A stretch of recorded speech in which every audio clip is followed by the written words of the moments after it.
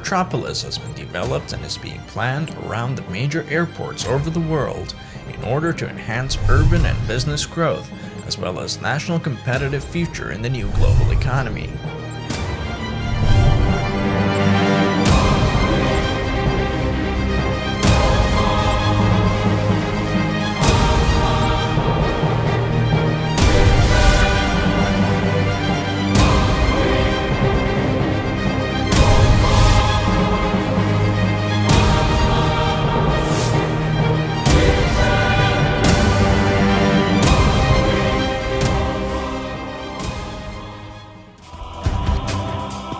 Building on the success of its Eastern Seaboard project, Thailand envisions the Eastern Economic Corridor, or EEC, as a catalyst to bolster economic growth and promote an increase in tourist numbers. The government is thus developing regional infrastructure, including U-Tapao Airport, in accordance with the Aerotropolis model. In responding to these challenges, what's needed? I think it's absolutely essential that you have a strategic roadmap and development approach that's cornerstoned by the model I explained in the last session, the Aerotropolis model. Second, leadership, fostering coordinated actions across all government levels and the private sector to implement the Aerotropolis strategy. And third, you must fully leverage U-Tapao Airport and Laem Chabang and Map Ta Phut ports and I might add Sattahip. It's their planned multimodal surface transportation links to them, special economic zones, and quality urban development for the EEC's competitive advantage in the new business environment. In this context, a plan for the U-Tapao Aerotropolis, a metropolitan subregion whose infrastructure, land use, and economy are centered on U-Tapao Airport is being developed.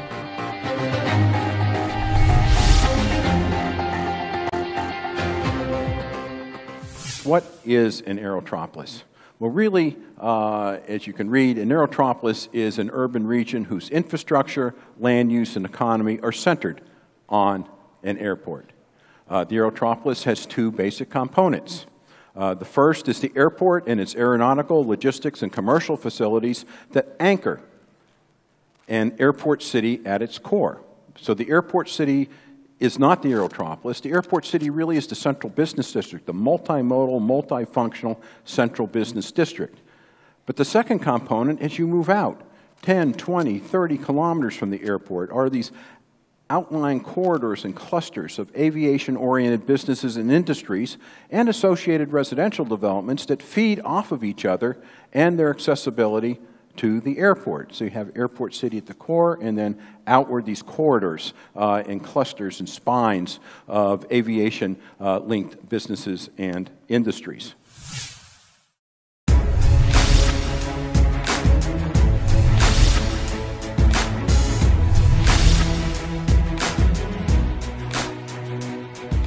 U-Tapao, a military civilian airport with a decades-long history as a key national security asset and high potential for development. It is currently planned to be Thailand's third major destination for international airlines.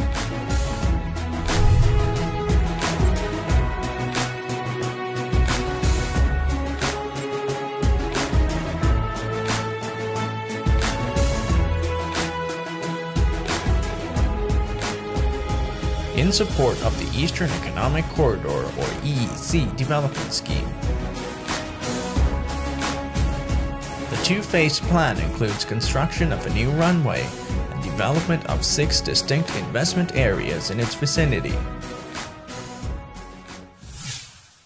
For the EEC model, the EEC Aerotropolis model, I look at it as a strategic approach to enhancing municipal and provincial prosperity through improved multimodal transportation access and aviation-linked commercial and industrial and urban development coordinated with the improved multimodal access, making U-Tapao Airport and the entire Eastern Economic Corridor better connected, more economically efficient, attractive, and sustainable.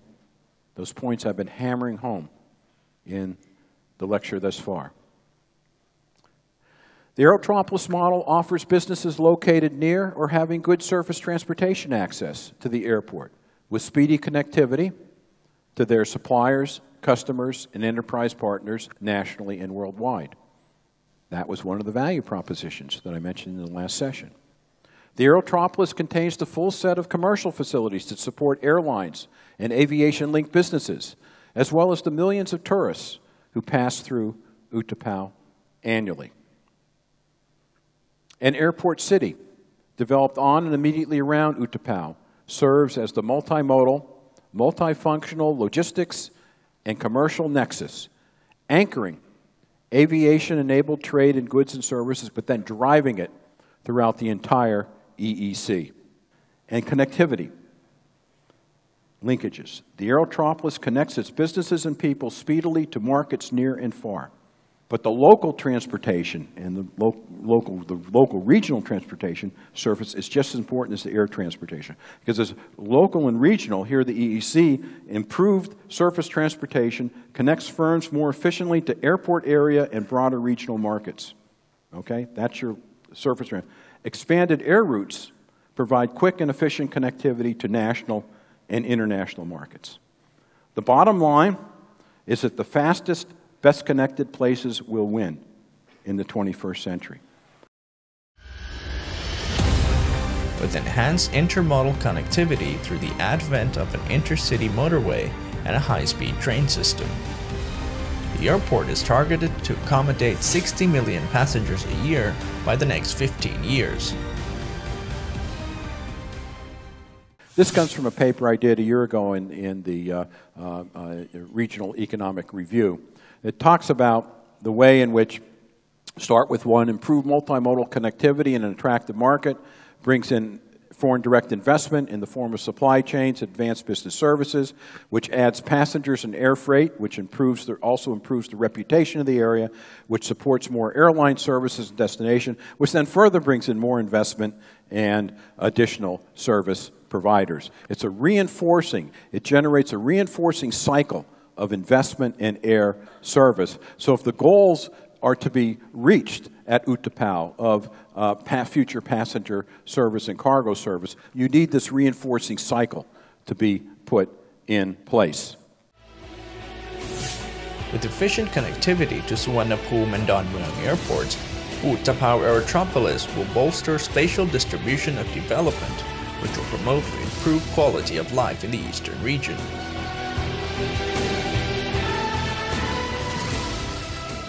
Not only hone EEC development, but also become a key mechanism for enhancing Thailand's competitive capacity and strengthening national economic growth. For EEC Aerotropolis success. It's a long-term process, not a short-term project. I know there's five-year goals. Politicians, government officials by nature have terms. They'd like to see things accomplished in that period. But this is a long-term process.